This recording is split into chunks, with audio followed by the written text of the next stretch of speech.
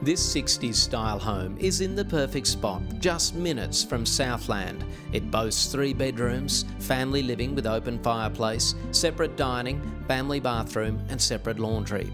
There's a double carport with fully sealed driveway, along with numerous sheds and a low maintenance garden. It's a perfect first home or great rental return. Within a one minute walk to Southland Shopping Centre, it's in the perfect location. Situated off Bay Road, it's a brief commute to the local primary and secondary schools, as well as the Bayside Fitness First Gym and swimming pool. It's also a short stroll to the Bay Road shops and milk bar and central to many parks. If you're looking to develop, you'll be attracted by its large backyard and block size, as well as the five minute drive to Sandringham or Blackrock Beach. A perfect location for public transport, being in between two railway stations, as well as having the bus terminal at Southland, which can take you anywhere throughout Melbourne.